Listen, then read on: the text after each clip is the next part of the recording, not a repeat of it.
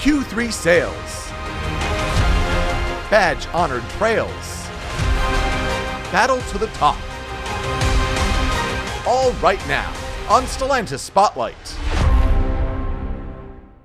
The numbers are in for the third quarter, and total US sales saw a 1% decrease versus last year, one percentage point shy of last year's total US sales for the same period.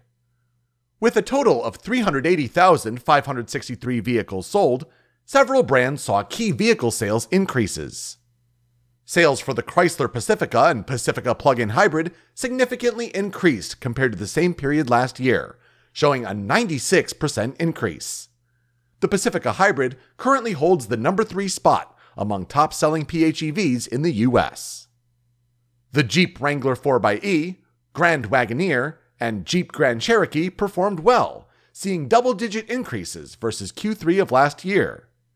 Both the Jeep Wrangler 4xE and Grand Cherokee 4xE sit at the number 1 and number 2 sales spots, respectively, for plug in hybrids in the US. The Ram brand saw Ram ProMaster sales increase by 34%, and commercial fleet total sales were up 19% versus 2022 and the all new 2024 Dodge Hornet and the 2024 Alfa Romeo Tonale hit dealerships this past quarter and are off to a hot sales start. Six new trails have been added to the Jeep Badge of Honor program two in Kansas, two in Pennsylvania, one in Arkansas, and one in Missouri, raising the total trail count to 68. All 68 Badge of Honor trails are included in the new 2024 Jeep Wrangler and 2024 Jeep Gladiator Jeep Adventure Guides featuring Trails Off Road, which delivers comprehensive off road trail guides loaded right into the Uconnect 5 nav system.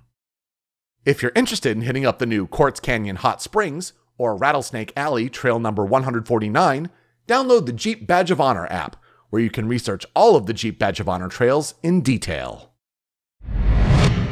And finally, the Tony Stewart Racing Nitro team didn't hold anything back to begin the final four races of the 2023 NHRA Camping World Drag Racing Series, which paid dividends this past weekend at the Midwest Nationals just outside St. Louis, Missouri. Funny car driver Matt Hagan pulled out his 48th career win, pushing him even closer to the top position on the points leaderboard. Top fuel pilot Leah Pruett raced her way to a second place finish this past weekend, also pushing her up the points leaderboard. Both Hagan and Pruett have three races left to get them to the championship, with no holding back for the final races of the 2023 season. Those are this week's top stories on Stellantis Spotlight. Reporting for Stellantis Digital Media, I'm Peter Spezia.